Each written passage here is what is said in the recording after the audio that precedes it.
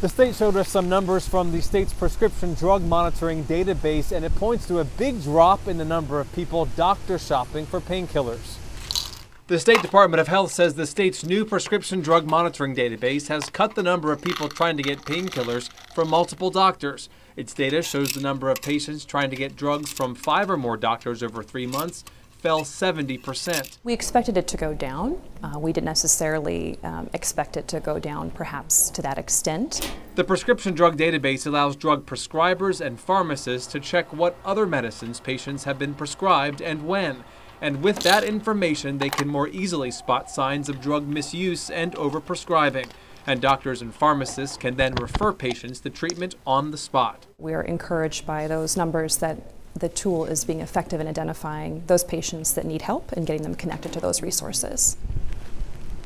And the state says on average, prescribers and pharmacists are looking up patient information in the database 52,000 times every weekday.